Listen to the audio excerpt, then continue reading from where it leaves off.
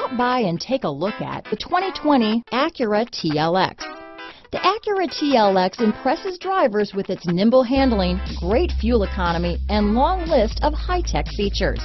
It comes with an extremely quiet interior, spacious front seats, and smooth ride quality.